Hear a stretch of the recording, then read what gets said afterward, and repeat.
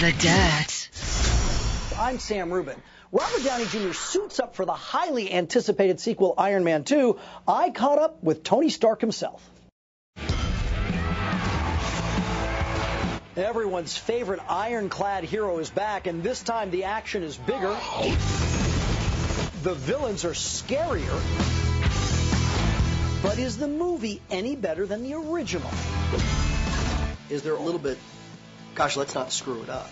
Yeah, but I, uh, for some reason or other, I'm, I'm in a, a period of my life creatively where it's it would be harder for me to screw something up than not screw it up because I've done so many movies that didn't work. I've lived through all the um, let's not do that again. You know. Do, does that give you a knowledge that maybe other people don't possess? Yes, I wouldn't. It, it's not a college course I would recommend someone having to live through because it's just kind of embarrassing to be in a bunch of projects that don't work.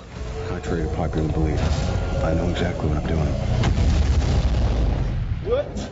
Gwyneth, probably more than any of us, she always tends to know where the, the true north of a situation is. Like, what, do, what should we really be doing in this scene? Go get him, boss. You complete me? Robert just said an interesting thing. He said, Gwyneth's ability is to find the true north of any scene.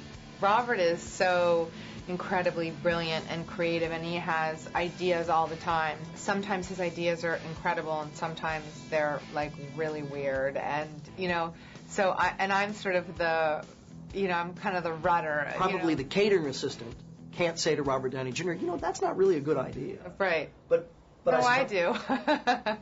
and he gets mad for a second, but Does he get mad? no, it sometimes he's just like, well, you know, I mean, but um, we just have a very good and honest working relationship, and um, you know, he makes scenes a thousand times better. Agreed?